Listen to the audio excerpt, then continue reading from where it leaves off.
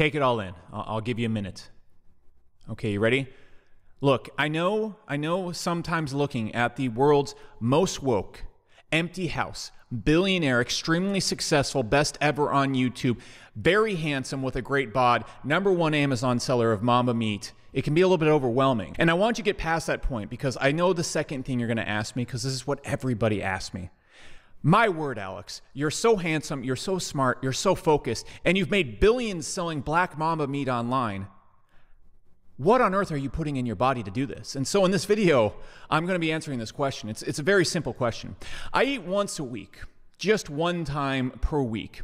And the secret to my diet is what I like to call black mamba coffee. And so what you're gonna do is you're gonna get six sticks of butter. I'm just kidding, guys. I'm just kidding. And for all the people that get angry by those intros, I love you too, but I'm just kidding. I'm just kidding. Let's get into it, guys. I want to talk about in this video about what I eat and what I put in my body to maintain focus. And this video is going to make so many people upset it's going to be so counterintuitive to what's being said on YouTube. And frankly, the only reason I'm making this video is because this needs to be said because it messed me up for almost a decade. Because almost everything out there in terms of diet and what you put in your body and biohacking, it's so stupid. And if it's not stupid, it's not good to participate in most of the time because of the negative effects it will cause on you. And like always, this is going to take me about five minutes to explain, but I don't see how you can be successful or achieve anything in life if you don't feel good, you don't feel focused, and you don't have energy. I don't see how you can get it done. I couldn't get anything done. And without this, I've struggled in the past, get a lot done. And once I figured this out, I've started getting a whole lot done. It's mind blowing. And so if you don't have five minutes, this is going to cost you five years in the long run.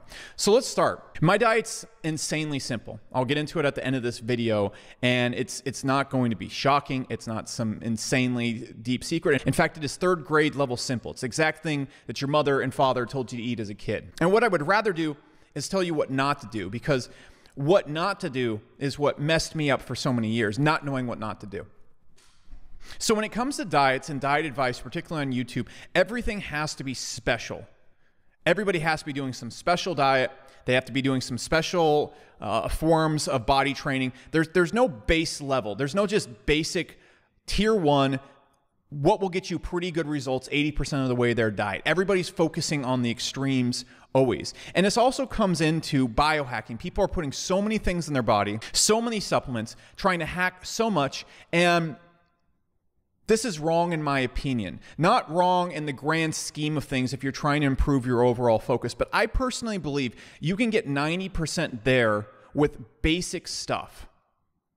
And I believe that you're going to get farther away from 90% adding in stuff and doing extreme stuff and trying to do biohacking. Now, let me explain it this way it's like you have the ability to get to 90% functionality.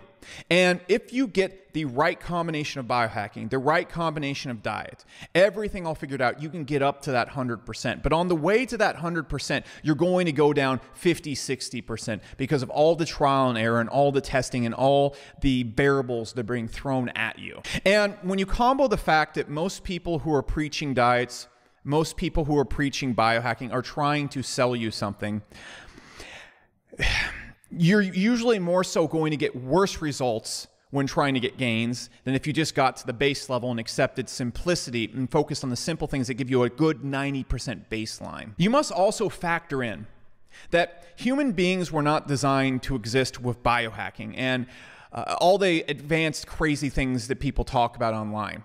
Now, of course, we can debate, oh, they're meant to eat this type of food or a high fat diet or this, that, that's all great. But that also depends a lot on where um, your genetics or originate from. I'm using big words now.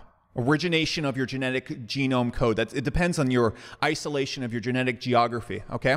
So, you need to figure that out, but more so, there's usually a good baseline diet and everybody can work with. And when I look at all this biohacking and all the things that are being introduced and all the supplements and all the food diets, food diets. You have to understand that in the past, I don't know, 50, 60 years, this is an exact stat, we've added four years of life to a person who's past the age of 60. So really nothing that humans have done medically or nutritional nutritionally has, has really put a dent in how long we live and how well we function.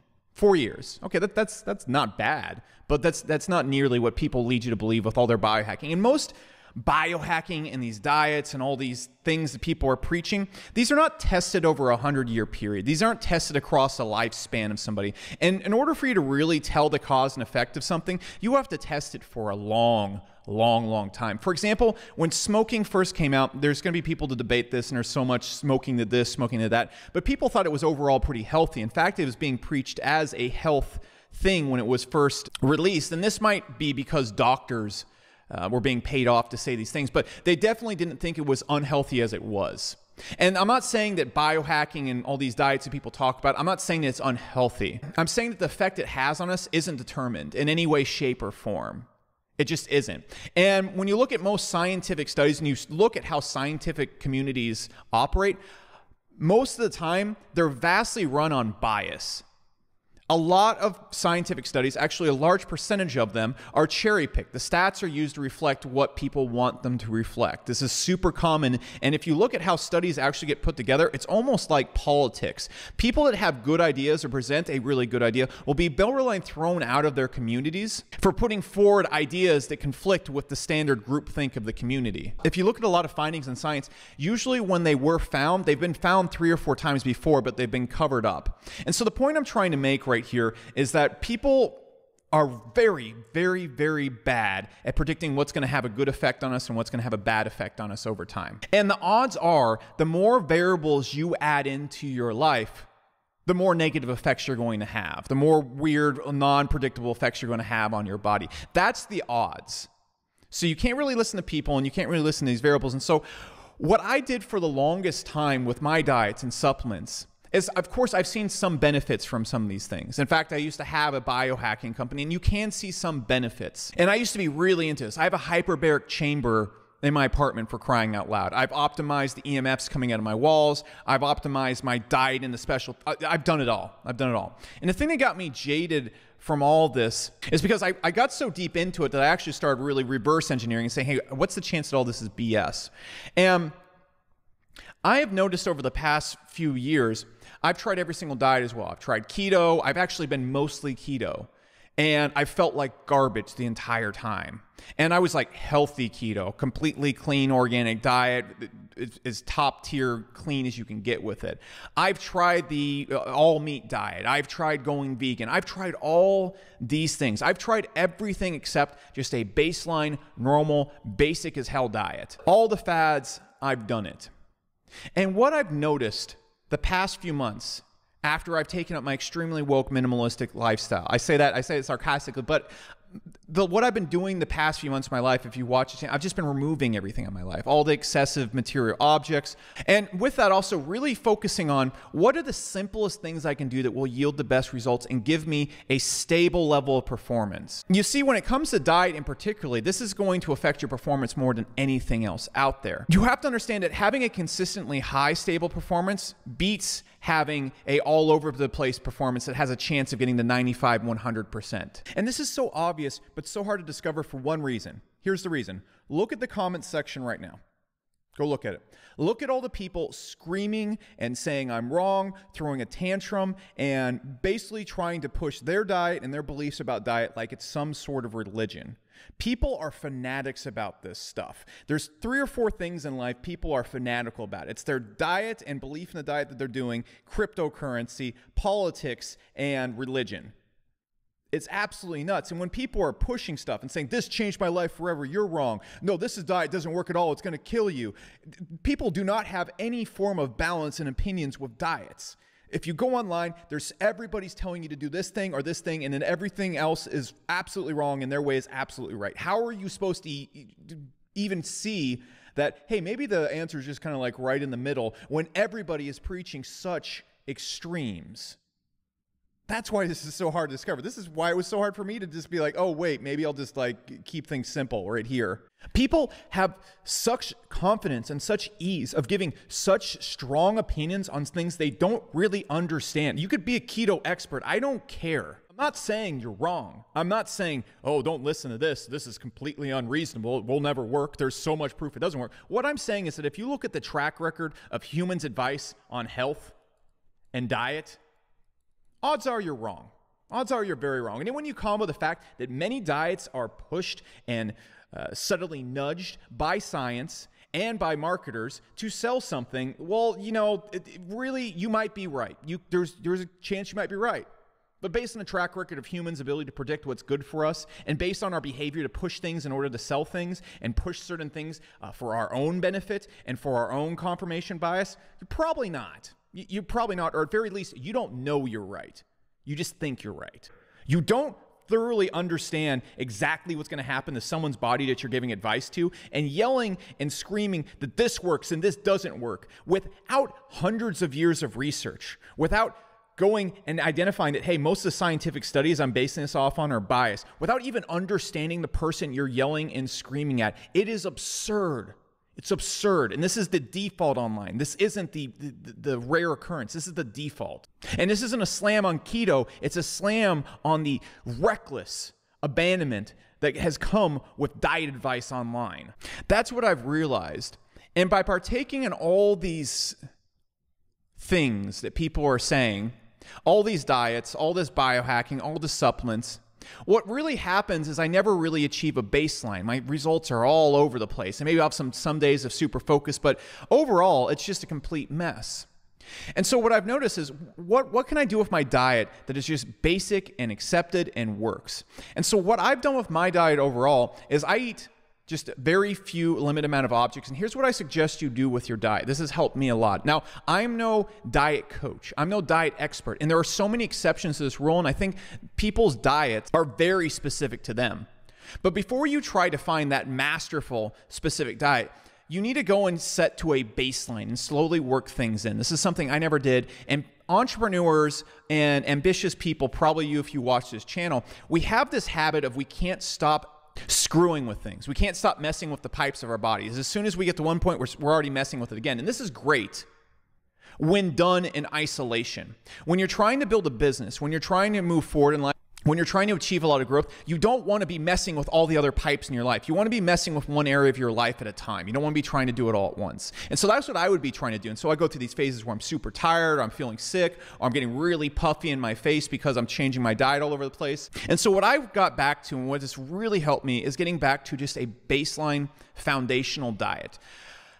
Perfect amount of calories, perfect amount of macros, and all the things I nutritionally need. So, what I eat every single day, and what I really focus on is saying, instead of making my diet genetically perfect and all this non proven stuff that people talk about, how can I make it extremely simple and efficient? And so, what I did is I reduced my diet completely down to oatmeal, olive oil, spinach, green juice, and lean chicken. This gives me the perfect levels, the perfect macros, the right amount of fat, the right amount of carbs, the right amount of protein, and it allows me to put on muscle, allows me to stay focused, and it allows my diet to be easily digestible. The stuff just goes straight through my body. Now, if you want to be even healthier, I would maybe throw in like some fish oil or something like that. And is this the peak, pinnacle, healthiest diet of all time? Actually, it's much healthier than what most people eat. But no, it's not going to be the peak biohacking optimized diet. It's super boring, it's super efficient, and you've been aware of a diet like this since you were probably 10 years old. And because of that, this can't be the right answer. It's this, this simple diet can't be the right answer, but it is. I used to have problems with my weight going all over the place. I used to have problems with hunger. I used to have problems with uh, being confused. Am I putting the right thing in my body? Am I not? And, but by focusing on this baseline, I eat the same amount of packets of oatmeal every single day. I eat the same amount of LBs of chicken every single day, same measurements of olive oil, and it takes me seconds to manage all of this. I can whip it all out, put it together, and I can have the meals and everything done or pre make them way ahead of time. And so my diet takes me virtually no focus. I get the perfect amount of calories and the perfect amount of everything. And what does this allow me to do? It allows me to focus on work I never have brain fog. I get great sleep. And my body is a nice level 90% of stable. And so when I said in the subject of this video, this increased my IQ, it did. Because I don't wake up feeling like crap anymore. I don't, I don't ever get tons of brain fog due to experimenting with my diet. I'm not all over the place. I'm not ups and down. I'm just a nice level of stable. And since I've picked up this diet, I've gotten more work done than ever before because I'm just clean, and focused. And what I suggest you do is you find a way to reduce to a baseline diet of your own. You could even try my diet, but I'm not going out on a limb like every other diet person on YouTube and saying, this is what you should do. I don't care what you do. I don't give a shit. I don't. I, I, truly don't care. I don't need you to take up my diet to reinforce that my diet works for me. I don't need you to say this diet works or doesn't work. What I'm suggesting you do is you find some way to reduce your diet down to a baseline. And I think mine is a pretty good example of just a basic as heck diet. And then what you want to do is you want to remove or add things one at a time so you can actually see how something's affecting you. What I would do in the past is I switched one diet and another and another, and it's just whatever. So if you're at this baseline diet and you want to go and try a keto diet, subtract the oatmeal and add in something that's ketogenic in there. If you want to go to the carnivore diet, subtract the oatmeal, maybe add in a steak or something right there, and then see how you feel. And this allows you to go and say, This is my baseline. Get to a point in your diet where you have a good 90% baseline that you can work with. And then add and remove from there. And the other thing I want to add is if you get to a good baseline, you get a nice baseline diet that gets you 90% there, you're clear, you're good, you're good, and you're trying to do big things in your life right now, leave it alone. You can go and do this when you have two months off. You can go and do this when you're on a vacation. You can go and experiment with all these things when you have time to be turbulent and all over the place. If you're trying to build a business or doing something really hard in your life right now, that's enough. That's enough. Leave it alone. Just leave it alone. This is good enough. You don't have to get to 100% when most people are operating at 50%. Just get to 90%. It's good. Okay, you're not going to be 100% in all areas of your life, especially when you're trying to be 100% in something else that's super tough to do. Consistently for weeks and months to move forward at a steady pace is going to outweigh you going like this and then three months later finally hitting that good pace we're at 100% that 10% gain is not worth the constant chaos in your body and you're just going to see way better results overall over time by consistently being able to show up. Don't be trying to add or remove. Like a lot of people go from eating candy bars and a bad diet straight into a ketogenic diet. And then they go from a ketogenic diet straight into a vegan diet. And then they do this and they're taking all these supplements. There's never a good baseline. And then start adding in supplements, then start adding in nutritional things in there and see how it affects you over time. You should really only be adding or changing one or two things over a two to three week period. And you slowly get to that, that level. But what I do in every aspect of my life, instead of doing all the biohacking, instead of doing all the supplements and all the stuff I used to do, I simply just focus on simplicity. That's going to get you to the point where you can do massive amounts of work, especially if you're combining all the dopamine detoxes and self discipline that I've talked about in the channel. And if you have a good baseline diet that keeps all the nasty stuff out of it, your cravings for all sorts of junk is going to go away overall. And there's other ways you can achieve this in other diets, but the most important thing is you get a nice baseline diet that allows you to achieve those lines by default, and then you can move from there. I was never able to really get my calories under control. I was never able to get my brain completely under control, my cravings under control until I did this. Also, a fun tidbit I usually do about a 20 hour fast every single day. Not every day, because again, it's so easy for me to maintain my calories because I have everything measured out uh, in the boxes it literally comes in before I eat it. So, this is just what I wanted to share with you guys. This has been so helpful for me, and I've been misled and driven all over the place and just just not getting the results I want from my diet for the longest time. And I always thought thinking, well, I'm missing some secret. I'm missing some biohacking thing. I'm missing the optimized perfect thing and, and all this stuff. The secret is I was just doing too much. Do less.